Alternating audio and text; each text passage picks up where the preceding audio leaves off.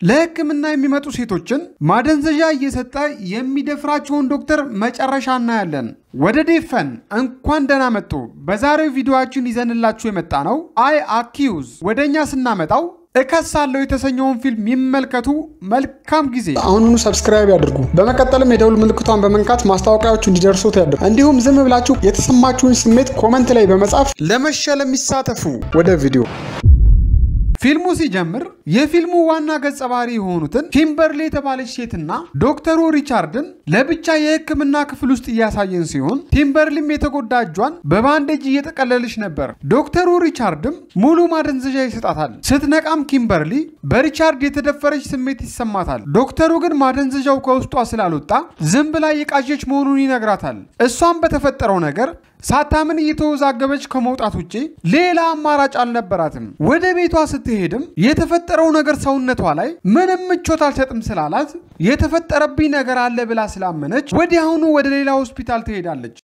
በዛም የጭንቀት በሽታ እንዲሁም ተደፍራ ከሆነ የሚያረጋግጥ ምርመራ ታደርጋለች። በምርመራውም የሌላ ሰው የወንድ ዲኤንኤ በማህፀኗ ውስጥ ይገኛል። ከሆስፒታሉ የሰማችው ውጤትም ፍጹም ውስጧን ያሸበረው ኪምበርሊ ምንም ጊዜ ሳታጠፋ ወደ ፖሊስ ጣቢያ ሄዳ ክስ ትመሰርታለች። ክሱንም በምትመሰርትበት ጊዜ ኑሪ የተባለው ፖሊስ በተከሳሹ ዶክተር ማንነት ይደነግጣል። ምክንያቱም የነበረው ዶክተር ሊ ሪቻርድ በሙያው የተከበረ ዶክተርና ወደ እሱ የሚመጡ የከተማው ነዋሪዎችን ተንከባክቦ የሚያክምና የሚረዳ ሰው ስለሆነና ሁሉንም ታካሚዎች ምቾት እንዲሰማቸው የሚያደርግ ዶክተር ነበር። በዚህም የተነሳ ፖሊሱ ዶክተሩን እንዲህ የወረደ ነገር ይፈጽማል ብሎ ስላልገመተ ኪምበርሊን በድጋሚ እንድታስብበትና እርግጠኝነቷን ይጠይቃታል። ምናልባት የተሳሳተ ነገር አስታውሳ እንዳይሆንና የተፈጠረውን ነገር በደንብ እንድታስታውስ ፖሊሱ ይነግራታል። ኪምበርሊም በዛን ቀን ምሽት የተፈጠረውን ነገር ለማስታወስ ትሞክራለች። የዛ ቀንም የተፈጠረው ይህ ነበር። ኪምበርሊ ከድሮ ፍቅረኛዋ ጋር ትጣላና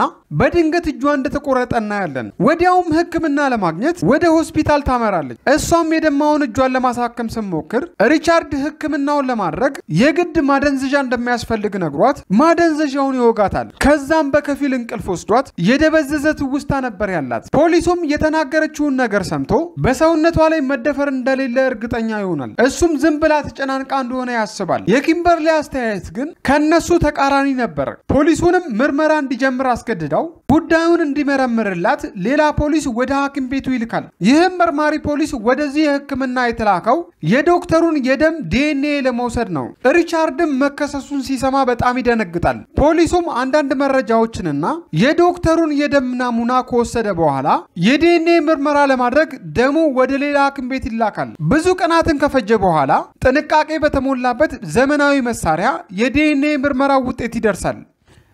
ከዶክተሩ የተወሰደው ዲኤንኤም ሲመረመር ኪምበርሊ ሰውነት ውስጥ ከተገኘው ዲኤንኤ ጋር ፈጽሞ የተለያየ ነው። ይህንን የተመለከቱትን ፖሊሶች በቀጥታ ወደ ኪምበርሊ ቤት ያመራሉ። ወደ ቤቷም ሲደርሱ ኪምበርሊ ከቤተሰቦቿ ጋር ቆማ ያገኟታል። ፖሊሶቹ ቤተሰቦቿ በተሰበሰቡበት የውሸት ክስ ማቅረቧን የሪቻርድ ዲኤንኤ እና በውስጧ የተገኘው ዲኤንኤ አንድ እንዳልሆነ ይናገራል። ምናልባት ከሌላ ወንድ ጋር ተኝተሽ ከሆነ የእሱን ብታመጪ ይሻላል እያለ ፖሊሱ ያሾፍባታል።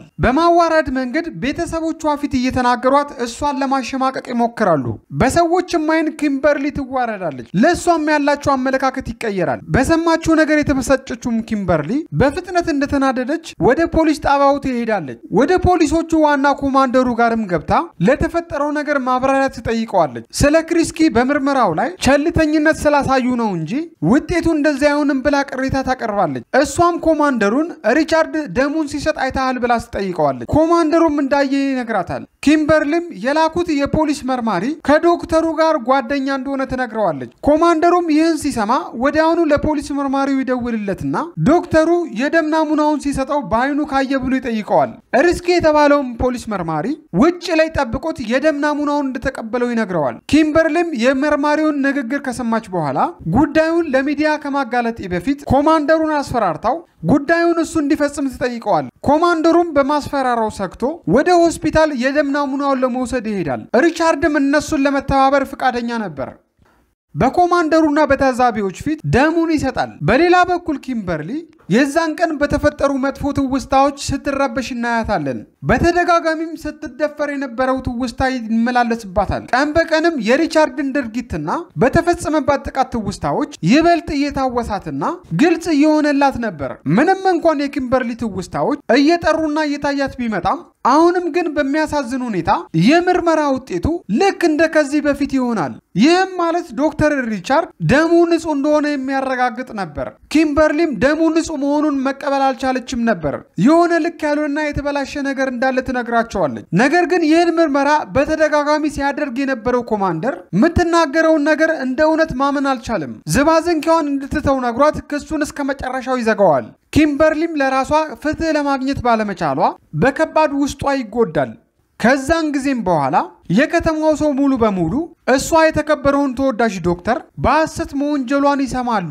በዚህም የተነሳ መተዳደሪያ ስራዋንም ታጣለች። በተጨማሪም የሰዎች ቡና ማጣጫ ሆነች። በሄደችበትም ሰዎች ያፈጡባት ጀመር። ከዛ በኋላም ኪምበርሊ እንደ ድሮ አልነበረች። በዚህም የተነሳ በከባድ የአእምሮ stress ትያዛለች። ስታስታውሰውም ለሚቀፋት የሪቻርድ ትውስታ በአእምሮዋ እየመጣ ያሳምማታል። የኪምበርሊ ቤተሰቦችም ከዚህ በኋላ ወደ አእምሮ ሕክምና ይወስዷታል። የነበረችበትንም ቤቷን ቀይራ ወደ አዲስ ቤት እንድትገባና አዲስ ህይወት እንድትጀምር ያደርጓታል። ጊዜያት ሲያልፉም ቀስ በቀስ ኪምበርሊ የቆየውን ጠባሷን መርሳት እየጀመረች ነው። ይህም ሊሆን የቻለው የሚንከባከቧት ቤተሰቦች በዙሪያዋ ስለነበሩ ነበር። አንድ ቀን ልጇና የልጇ ጓደኛ እየተጫወቱ በርቀት በተሰማት ነገር አይምሮዋ ይቀየራል። ንግግራቸውም የነበረው የልጅቷ ጓደኛ ለምን ወደዚህ አካባቢ መምጣት ፈለጋችሁ ስትላት፣ የእሷ ልጅ ደግሞ እናቴ ማንም ያላመናትን ታሪክ ስላወራች ነው ትላታለች። ይህንን የልጆቹን ታሪክ የሰማችው ኪምበርሊም ልቧ ይነካል። ከዚህ በኋላም ቢያንስ እንኳን ለልጇ ብላ ደካማ ሆኗ መቀጠል እንደሌለባትና ፍትህ ማግኘት እንዳለባት ይሰማታል። በዚህም ኪምበርሊ በድጋሜ ለመብቷ መታገል ትጀምራለች። ፖሊሶቹም ክሱን በድጋሜ እንዲከፍቱላት አሳማኝ ማስረጃ ለነሱ ማቅረብ አለባት። ይህ ደግሞ ከባድ ነበር። በዚህም ኪምበርሊ በግሉ ምርመራ የሚያደርግ ሰው በውድ ዋጋ ብር ከፍላ ትቀጥራለች። ሰውየውንም ዶክተር ሪቻርድ ከእሷ ውጭ የሰራቸውን ወንጀሎች እንዲሰበስብ ትጠይቀዋለች። ዶክተር ሪቻርድ ግን እንዲህ በቀላሉ የሚጋለጥ ሰው አልነበረም። ሲበዛ ጥንቁቅም ነበር። መርማሪው የሪቻርድ ምራቅን ለማግኘት የተለያዩ መንገዶችን ይሞክራል። ሪቻርድ ግን ምራቁን ከማጣበቂያ አርግቶ ስለሚሰጠው ዲኤንኤውን ከሱ ላይ መመርመር አልተቻለም። እቅዳቸው ምንም ሳይንቀሳቀስ ባለበት ቆሞ ይቀራል። ከዚህ በመቀጠልም ኪምበርሊ አንድ እቅድ ታወጣለች። የሆስፒታሉ ነርስ የሆነችውን ምሳ ትጋብዛታለች። የኪምበርሊ ሀሳብም ነርሷ ከዶክተሩ ጋር ለብዙ ዓመት ስለሰራች ማንም የማያውቀውን እሷ ብቻ የምታውቀው ነገር ካለ ነርሷን ለማወጣጣት ነበር። ይህን ለማድረግም ያሳለፈችውን ሁኔታና ያጋጠሟትን ችግሮች ለነርሷ ትነግራታለች። ማህበረሰቡም ስላልተረዷት እንዳሰቃዩት ትነግራታለች። አውርታ ስትጨርስም የከተማው ነዋሪዎች አይተዋት ወደ እሷ መጥተው እየተናገሯት ያንጓጥጧታል። ኪምበርሊ ያጋጠማትን መሸማቀቅ ያየችው ነርስ በመጨረሻም ልትረዳት ትወስናለች። አንድ ቀን ምሽትም ሪቻርድ ከሐኪም ቤቱ ሲወጣ ነርሷ ለኪምበርሊ እሱ ጋር መጥተው የታከሙት የሴት ታካሚዎች ስም ዝርዝርን ፋይሉን አውጥታ ሰጠቻት። ነርሷ በሰጠቻት ፍንጭ የሚሆን ትብብርም ኪምበርሊም ወዲያውኑ ዝርዝሩ ላይ ያሉ ታካሚዎች ጋር ቤታቸው መሄድ ትጀምራለች። በመጀመሪያ በስርዓት ቢያናግሯትም የዶክተር ሪቻርድ ስምን በሰሙ ቅጽበት ፊታቸውን ይቀይሩባትና በሩን ይዘጉባታል። በዚህም የተነሳ ኪምበርሊ በዚህ አረመኔ የተደፈረችው እሷ ብቻ እንዳልሆነች ይገባታል። ኪምበርሊ ተጨማሪ መረጃዎችን ለመሰብሰብ ብዙ ሴቶች ጋር ብትሄድም በሩን እየዘጉ ያባርሯታል። በቀጣይ ትዕይንትም ዶክተር ሪቻርድ በድብቅ ከሀገር ሊወጣ እንደሆነ ነርሷ ትሰማለች። ቆሞ የሚያወራውን ሁሉንም ነገር ነርሷ ተደብቃ ትሰማዋለች። ይህን የሰማችው ኪምበርሊም በቀጥታ ወደ ፖሊስ ጣቢያ ትሄድና ሙሪ ከተባለው መርማሪ ፖሊስ ጋር ጭቅጭቅ ትጀምራለች። ስለ ጉዳዩም ስታስረዳው ከእሷ ውጭ ሌሎች ሴቶችም በዚህ ዶክተር እንደተደፈሩ ትነግረዋለች። በሙሪና በኪምበርሊ መሃል ያለው ንትርክ በፖሊሶቹ የበላይ አዛዥ ይሰማል። የፖሊሶቹ የበላይ አዛዥም ለሰማው ነገር ትኩረት ሰጥቶት ነበር። የኪምበርሊ በነገሩ ላይ ችክ ማለቷን ያየውና እርግጠኝነቷን ያየው አዛዥ ነገሩን ካሰበ በኋላ ኪምበርሊ ማመን ይጀምራል። ሆኖም ግን ፖሊሶቹ ቀጥታ የሆነ ማስረጃ ሳያገኙ በሕጉ መሰረት ክሱን በድጋሚ መክፈት ስላልቻሉ ሪቻርድን ለሌሎች ክሶች እንደሚፈልጉት ነግረውት ይዘውት ወደ ፖሊስ ጣቢያ ይዘውት ይሄዳሉ። በመቀጠልም የሪቻርድን ደም ጠበቃው ባለበት ተወስዶ ዲኤንኤ ሊመረመር ይዘጋጃል። ኪምበርሊና አዛዡም በመስታወት ተከልለው የምርመራውን ሁኔታ እግር በእግር እየተከታተሉት ነበር። ሆኖም ግን ባልተለመደና ከወንጀለኛ በማይጠበቅ ሁኔታ በጥቂት እንኳን ሳይርበተበት ነበር ዶክተር ሪቻርድ ደሙን ሲሰጥ የነበረው። ለምርመራው የሚረዳው ዘንድ ጃኬቱን ያውልቅና ደሙንም ጣቴ ከተጎዳ ለስራዬ እንዳይረብሸኝ በማለት ከጣቶቹ ላይ መወሰዱን ትተው ከክንዱ ላይ እንዲወስዱ ይነግራቸዋል። የሪቻርድ ፍላጎት ለየት ያለ ቢሆንም ኪምበርሊ ይህን አረመኔ የሆነ ሰው ወንጀለኝነት በሁሉም የእይታ ስር በወንጀሉ እንደምታስይዘው በጣም እርግጠኛ ነበረች። በጣም በሚያሳዝን ሁኔታ ግን የሪቻርድ ዲኤንኤ በእሷ ሰውነቷ ውስጥ ከተገኘው ዲኤንኤ ጋር አልተመሳሰለም። ውጤቱም በጣም አስደንጋጭ ነበር። ይህም ሪቻርድ እንዳልደፈራት ያረጋግጣል። ሆኖም ግን ኪምበርሊ አሁንም ውጤቱን ለመቀበል ፈቃደኛ አልሆነችም። አዛዡም በእሷ ችክ ማለት ትዕግስቱን ይጨርሳል። ኪምበርሊ ባህሪዋ በሚመስል መንገድ በአይኗ ያየችውን ነገር አታምንም። እየወጣችም ማስፈራራት በሚመስል የዶክተር ሪቻርድ እይታ ኪምበርሊ ትናድዳለች። አቅም የማጣት ስሜትም ይሰማታል።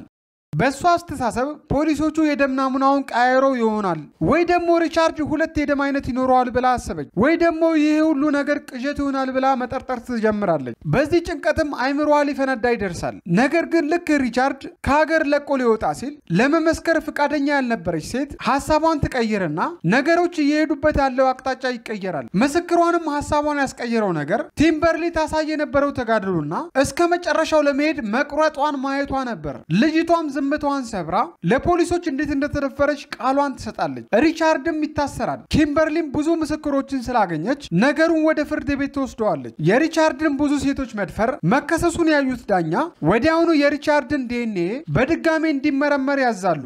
በአሁኑ ግን ከዚህ ቀደም ተቃራኒ ዶክተሮቹ የሪቻርድን ምራቅና ጸጉሩን ደሙን ደግሞ ከክንዱ መውሰዳቸውን ትተው ከጣቱ ላይ ይወስዳሉ። የመጨረሻ የምርመራ ውጤትም ከሪቻርድ ውጪ ማንም እንዳልደፈራቸው ይታያል። የዲኤንኤ ውጤቱም በኪምበርሊ ሰውነት ውስጥ ከተገኘው ዲኤንኤ ጋር ተመሳሳይ ሆኖ ይገኛል። ፍርድ ቤቱም ሪቻርድን ኪምበርሊንና ሌሎች ሴቶችን በመድፈር ወንጀል ዶክተሩን ጥፋተኛ ሆኖ ያገኘዋል። እሷም ከዚህ በፊት ተሰምቷት የማያውቅ የመገላገል እረፍት ይሰማታል። የከተማው ነዋሪዎችም በመጨረሻም እውነቱን ማወቅ ቻሉ። ድርጊቱም እነሱ ላይ ባለመፈጠሩ አምላካቸውን ያመሰግናሉ። ያደረሱባትን መካስ ባይችሉም በጀግንነቷና በጽናቷ ያበረታቱታል። በመጨረሻም ሪቻርድ ጥፋቱን ያምንና መናዘዝ ይጀምራል። እስከ ዛሬ ከምርመራ ያመልጥበት የነበረበትን ዘዴ ለፍርድ ቤቱ ይናገራል። ዘዴውም ይህ ነበር። የሌላ ሰው የደም ናሙና በቱቦ ውስጥ ከጀመረ በኋላ ቱቦውም በደም ስር ውስጥ ቀብሮት ስለነበር ሁልጊዜ ምርመራ ሲደረግ ከጣቱ መውሰድ ትተው ከግንዱ ላይ እንዲወስዱ እያደረገ ነበር። ዘዴው ለረጅም ጊዜ ቢሳካለትም በመጨረሻ ግን ከሕግ ማምለጥ አልቻለም ነበር። ፊልሙም እዚህ ላይ ያበቃል። ውድ የዴፍ ፊልም ቤተሰቦቻችን ቪዲዮ ከተመቻችሁ ላይክ ማድረጋችሁን እንዳረሱ